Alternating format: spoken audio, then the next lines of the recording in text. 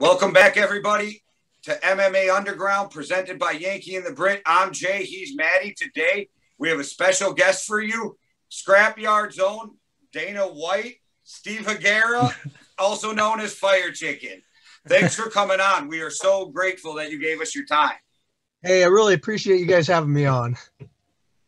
So, big things coming up with Scrapyard. It's well, you got big fight coming up for charity with Jay Gotham and Jordan Harrington, but even bigger for Maddie and I, really excited. The Virginia invasion, Scrapyard going over to fight in the OG yard. Yes, sir. So we, like you mentioned, those two things we got, we got those coming up. Um, one thing we haven't touched on too much is the uh, the one year anniversary of our branch.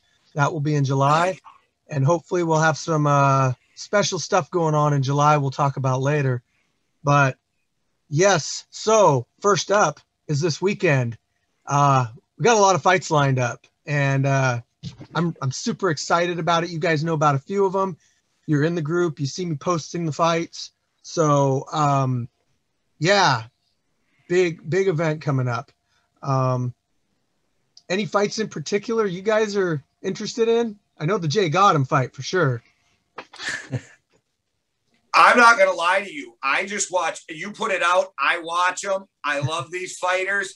And I get to the point where I don't even think about, oh, I need to fight and see this guy fight this person or whatever, because I'm never let down. Never. We just watch them all. We're not actually bothered about who like comes out. We just watch them all. But of course, the Jake, uh, the Jay Gotham and Jordan Harrington fight is the one that's probably got most people's attention and probably like probably has our attention a little bit the most and that's for the the good cause behind it as well. Yeah that that is a that is probably one of our top fights right there you know if not the top fight of this event. Um, which one are you most excited for? Or or like which which matchups do you look at and go i'm really happy to see this fight. I can't wait. So um what i'll do is i got the list in front of me and i'll touch on some of the people that are fighting if they're fighting new people i won't go into it very much but i'll just say hey this guy's fighting this guy's fighting and then i'll go over the the people that you know. So the first one and this this kind of happened by accident um we had a tournament set up for the 170 pound, pound kickboxing tournament right? Uh, last month we started it we had the african crazy legs samaritan king four dub so we had a whole bunch of people in there um, people won their fights and advanced to the next month, which was going to, which is this month.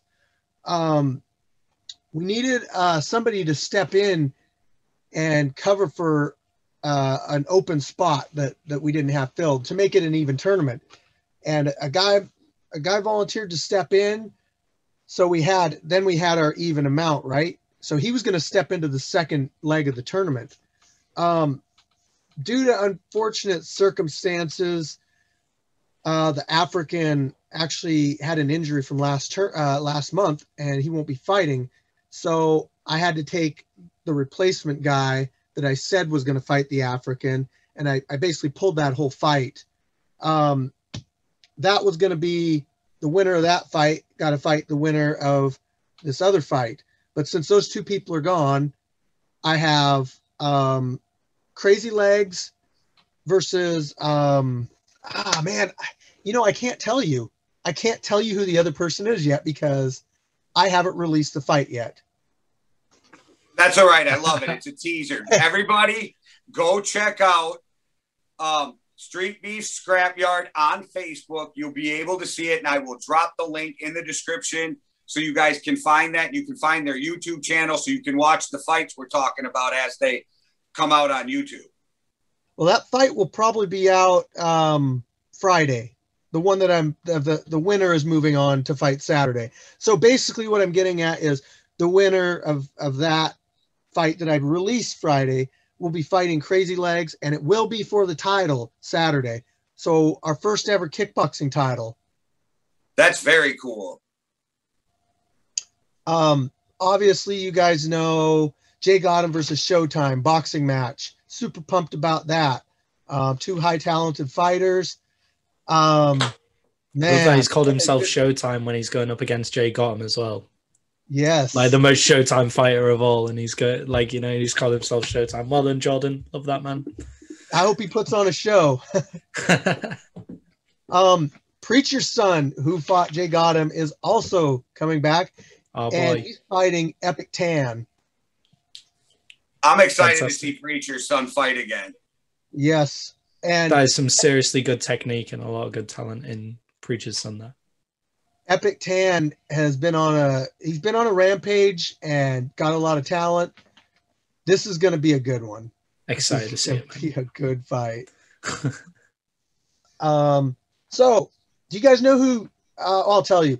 Dirty Devil is one of the most experienced Street Beefs fighters of all time. He's from. He fought in every branch of Street Beefs, past and present branches, except for the Scrapyard. He just fought in Strelka a week ago, the Russian backyard fighting. Um, and he is fighting Shrugs Saturday. Man, Come to complete the set. He's here to complete the set. Yes, that'll be all of them. he'll be, uh, I believe, he'll be the only one that's done it. Yeah, and then he's obviously he's been he's been over in the Russian backyard fighting thing, and I mean that that must be hardcore. That must be a hardcore place to go fight. Well, they did it in America, but it, it's it's um, Strelka is the Russian-based fighting branch, and they've typically done their events in Russia, I believe. But most recently, they've moved over to America and done some fights here. And um, I think Kilo, uh, AJ, a couple people from the main branch have fought on that same event with these guys. So, um, yeah, and uh, Dirty Devil stepped in and fought too. So he got a, I think, a 15 second knockout. Right, so we'll be definitely looking out for that one then. Fantastic. Okay. Uh, next, we got Gaio fought Golden Hands twice, and he's fighting Turco in a boxing match. that's what I love too. Is that it's not just MMA. There's boxing. There's kickboxing. I've seen BJJ. It's just all around mixed martial arts, but some of them just in their natural form. It's pretty awesome to watch. Just even going through just the YouTube um, channel, my wife can look at me and like, "Are we gonna go get dinner?" And I'm like, "Oh, oh yeah, yeah." And I'll be like 45 minutes late because I get too sucked into video after video. Yeah, yeah, that can happen. Um, uh, Solo versus Kevin from IT. That's gonna be a that's good the one. best name ever. It is. I can't get enough of Solo. I just and and Kevin seems like such a personality. Well, he must be if he's called himself that. I mean, like, great name, man. Great name. Did you um overtime hustling gave me uh so Kevin and and Solo both submitted to me some um some videos and uh overtime hustling put together a collaboration of those those videos and I put it on our channel this morning. So you can go check that out if you haven't seen it yet, but it's basically these guys talking back and forth, kind of uh some creative uh creative personalities in there. Um some of their creativity I should say.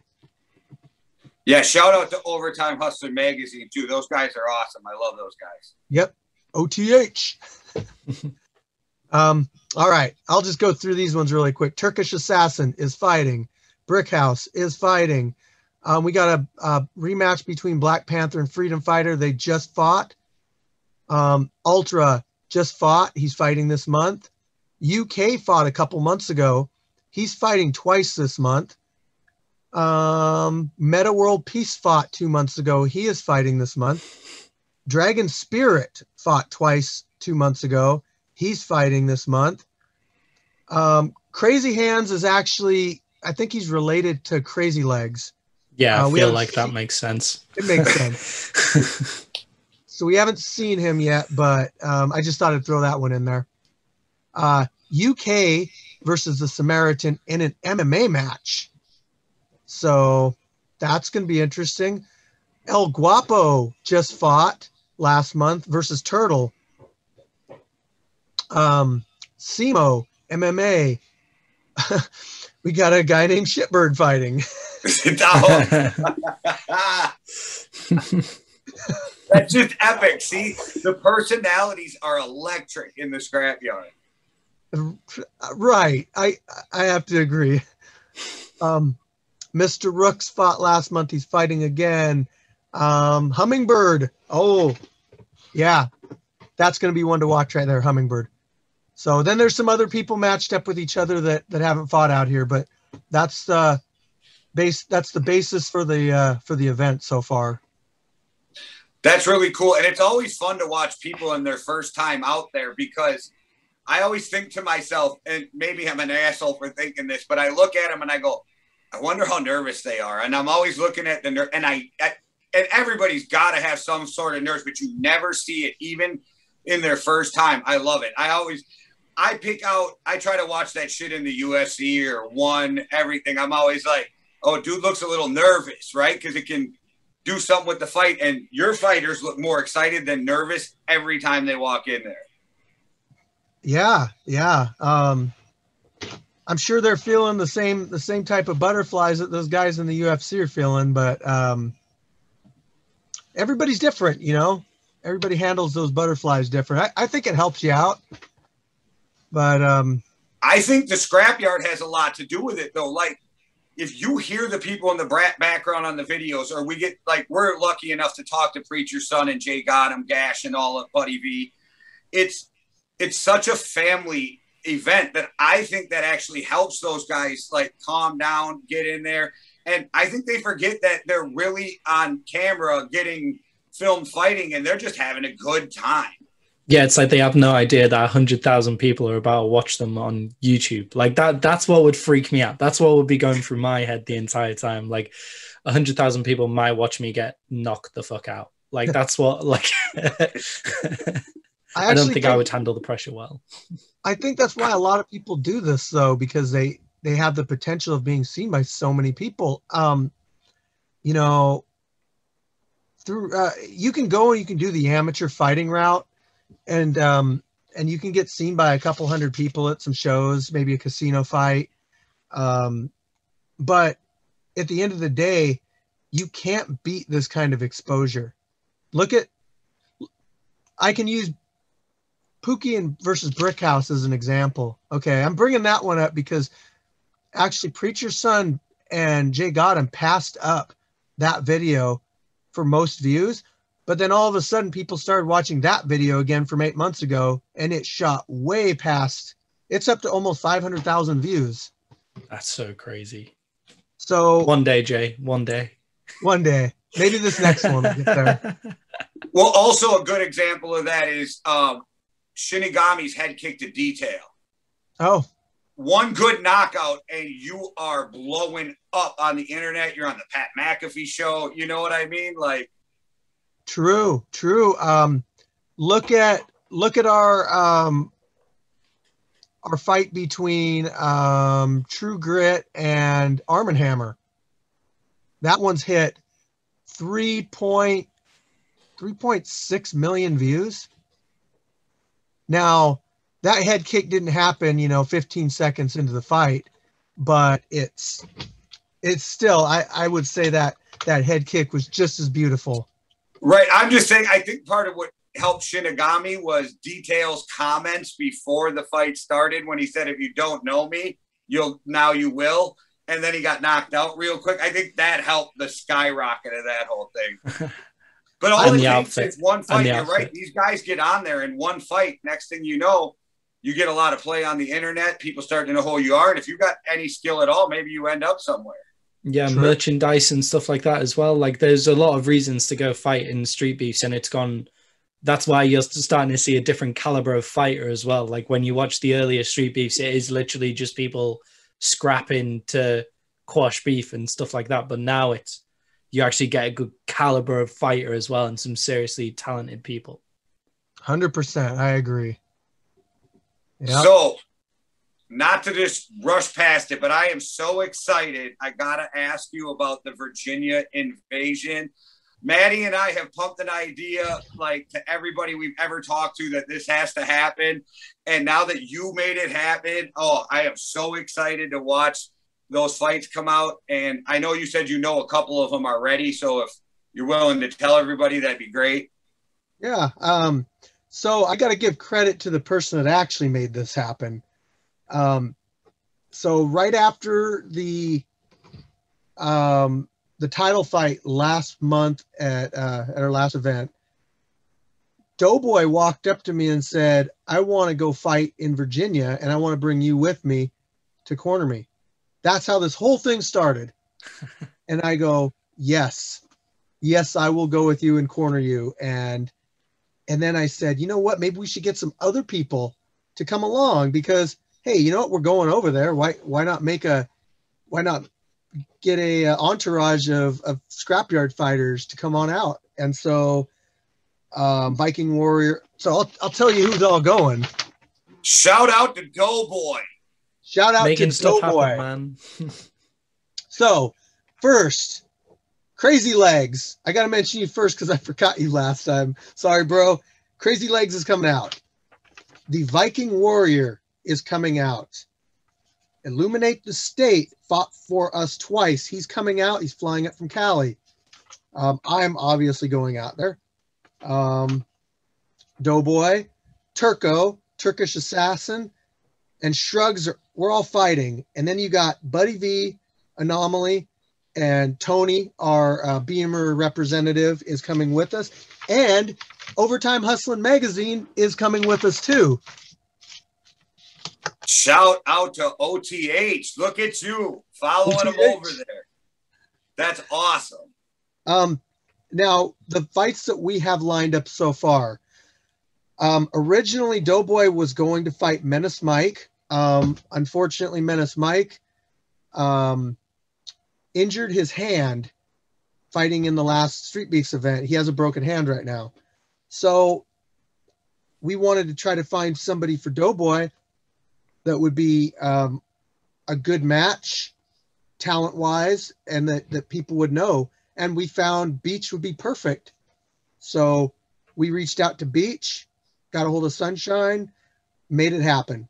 So Beach versus Doughboy. That's kind of, I'll say that's like the Scrapyard Invasion's main event. And that's an MMA fight? That is an MMA fight. Yes, sir. Um, Next up, we got, I would say our our top contender for roughly the 185 to 200 pound range in boxing, and that's uh, Viking Warrior. And uh, we figured somebody that is getting a lot of attention right now in street beefs is fair play. Um, yes, sir. He's got, he's got the he's got the outfit, he's got the talent, the personality, and I think that that matchup is just pure gold. So, and the last match that we have 100% confirmed is an exhibition fight, and that's me versus A Train. Yeah, and, man, uh, to be fighting. Sorry, what? Are you excited to be out there fighting rather than just cornering somebody where you're really excited to get yourself in the OG yard as well? I am. And you know what? Like, I wasn't really, I wasn't 100% planning on fighting, but it kind of just happened that A Train went on his Facebook, or maybe it was Street Beefs, and he said, Hey, I think I'm going to fight again. You know, so obviously all these people start in like, Hey, I want to fight you. I want to fight you. Or, you know, maybe so I just um, I've talked to A Train, sent him messages quite a bit. You know, we've talked back and forth. We actually got a lot in common. Um, got no no bad blood or no beef with him. Um, I respect him as a as a fighter, and uh, I messaged him and said, "Hey, man, um, you know, I'm I'm trying to get back in shape and too, and um, this whole COVID thing hit me just as hard as you." And what do you think about doing a, a boxing match and he's like yeah yeah so we kind of went back and forth agreeing on on glove glove sizes and all that stuff and and that's where we're at so yep we're gonna we're gonna throw some throw some mitts on the uh June 5th show. Some hard sparring as I saw it posted. Hard sparring, yes. That's exciting. How long has it been since you fought out in Virginia when you fought out there last time? December 2018. Okay, so it's been a minute going back to the OG yard. Now, were you in the original yard? I was it. Not only was I in the original yard, but I was in the original yard before they even did fighter intros. Like you didn't get time to say something to the camera. You just fought. okay. Yeah, because that yard doesn't exist anymore, right? It it I mean it doesn't exist in the sense that um that we would use it in a as an event because right. the person that owned owned that place doesn't live there anymore. So okay. That's like yeah, because I don't see if you go back to the old street beefs fights on YouTube, you see it, and then you no longer see it again. So I was just like, but I thought I saw you comment in a post on Facebook or something that you fought there. So I had to ask if that if I remembered that right. So yes, I believe the A train that was the last place he fought too. So do you guys have a, a set exact date that you guys are going out there? Um, yeah. So, um, some of us aren't going to go out until the Friday before the event. Um, but me, Tony, um, Doughboy, maybe one or two other people are going to be showing up on Thursday. And when's the event for? Saturday. Uh, what's the date though? Oh, June 5th is the date of the fight. Yeah. Just in case every I didn't remember, and so everybody knows that after June 5th, they can keep watching uh, YouTube to catch these fights as they get released. Yeah. So I'm going to be going out to Neutral Corner on Friday too. Um, there's a lot of people I want to meet. Maybe I can get a little bit of sparring in before the fight. Um, so it be a cool experience. Yeah, it looks like a pretty cool gym. Yeah. So after the whole invasion happens, Maddie and I are hoping this whole trend just kicks up and all the street beefs come together at some point. But I can't tell you when I saw that post about the Virginia invasion, I literally was in the living room watching TV with my wife and yelled, fuck yes. And she's like, what? And I'm like, Street Beefs is OG and Street Beefs Scrapyard. And she was like, hold on, you got to explain this to me. But yeah, I even yelled, fuck yes, right in our living room. It's like, we called it, we called it, we called it, we got it. yeah, finally happened, finally happened. Then we're going to need, so we've got Virginia invasion coming up, and then you're going to need King of the West Coast with the uh, Scrapyard and the West Coast going against each other. And with Texas Anarchy popping up now as well, we'll, we'll see what happens with that as well. Yeah you know, I, in my opinion, this is this is a huge deal because we've got I don't know uh, ten to fifteen people that are hopping on planes and flying over there, and these are like our biggest our bigger names out here, and we're fighting a lot of their bigger names. I think that it's it's huge, and I 100% agree. Like the trend should continue because it brings the different branches together. I would love for a group to come on out to the scrapyard for a month and um, you know set them up with our guys that would be that would just be completely awesome yeah and the whole idea that street beef is just growing and growing and growing and the more people who find out about it are like oh shit i hear that i see comments on some of our posts like i didn't even know this existed i love this so the fact that people are starting to learn about it more and more because I remember the first time I ever stumbled across street beefs, and I was like, "This shit is awesome!" like, so, and then the fact that every chapter is just a little bit different makes the excitement of it all too. Yeah, it does. Um, every every chapter's got its own pizzazz, um, makes them unique. So I I hope all the chapters keep that individuality and um, and just you know, stick with it. But all right, I'm going to ask you again, like I asked last time, Fire Chicken. Can we go buy them shirts somewhere? Um, yes. So, well, I got a Cobra Kai shirt on right now. Right. I'm looking at the scrapyard behind your head, but yeah. Oh, these ones. So, if you want to purchase one of those, Martin Rubio is supposed to be the guy that that has those. Um, try messaging him. What I can try to do is I can get a hold of him and try to get an order. And uh, then maybe I can send out to people or whatever. But he's the centralized hub for all the merch. So he's he's the guy that handles that. Um, and I would just say shoot Martin Rubio uh, uh, instant message on Facebook. Sounds good. Yeah, because uh, every time I see you out in the scrapyard with the scrapyard shirt, I'm like, I need one of those. so, with everything going on coming up Saturday, you got to be really excited for that. You're not too far out from the Virginia invasion. Like big things coming for the scrapyard. Yeah, yeah. Um, I think our our game plan for the scrapyard is to just maintain, to keep doing what we're doing, and we've got it to the point. The venue, the camera work, the editing. I feel like that's all exactly the way that, that I want it to look. And now we just have to put out fights every month. New stuff, new fights, people coming out, all that. New content. Do you must get a ton of fighters contacting you too, huh? To like fight out there? Yeah, and it's um it's grown in popularity in probably the last couple months. I don't know if that's due to the weather getting better or or what, but um, we we have been getting a lot more people contacting us. So in the future, we might have to start limiting the amount of, of fights per month, just to be able to just to be able to throw the event. I mean, we're already last month there were a lot of people out here, and there's going to be even more this month. So we got to keep um, the surrounding people happy too, so they don't try to shut everything down.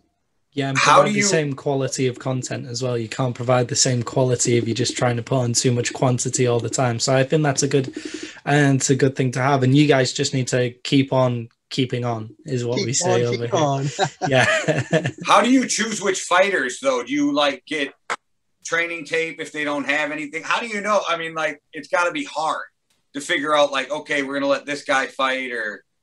Well, I, I think it's probably harder for like the West Coast branch right now because they have so many more people wanting to fight for them. Um, right up until now, it's it's kind of like, well, we've had enough to do fights. Um, last month, I think we had 18 or 19 fights. We're looking at close to 30 this month, but it's getting to the point where I don't want any more than probably 25, 30 fights.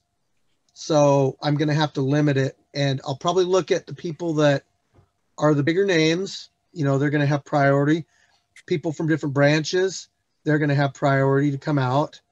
Um, and I'm not going to let people sit on the sidelines month after month. I'm going to try to get, try to work them in. So if they signed up the month before, you know, I can probably get them in the next month. Very cool. That's just exciting for everybody. And then, they get a chance, but it's smart to keep your big names and your electric personalities out there. Like I said, I think I, I told you before we started, Buddy V is electric. I could feel his energy through the um, through the camera on the interview we did with him. Jay Gotham put on a WWE style promo against Jordan Harrington on the podcast. Just electric personalities, and then you get guys like um, Preacher Son, who I wouldn't say is an electric personality, but just such a nice guy. Talking uh-huh. to Gash was amazing. You guys just have some personalities out there that I think really going to help fuel this and just keep it going. And everybody's yep. really happy to talk to us, which is always a plus in our eyes as well. Yeah, love you guys for that. you guys put on a good show, so they're really willing to get on here and talk. So excellent. Thank you so much, man. Well, thank you so much for giving us your time again and talking about the Virginia invasion because Maddie's probably sick of hearing me talk about it to him. So now I got to talk about it with you. Maybe it'll like hold tide me over till the time comes. right on. Hey, it's been a pleasure. Um, I always enjoy uh, enjoy talking to you guys and what you guys are doing for the scrapyard and street beefs. I I really enjoy the hell out of that too. Well, we Thank you so appreciate much, it. man. We love you guys, and I can't get enough of it. Sorry to step on you, Maddie. What were you saying? I was just saying thank you. I was just doing the classic British thing of just saying thank you after everything. Yeah, you everyone guys are says, so fucking polite. Yeah. All right, everybody. Thanks for watching. You can check us out on YouTube, Facebook, other podcasting platforms. One world, one love. Deuces. Cheerio. All right, chicken out.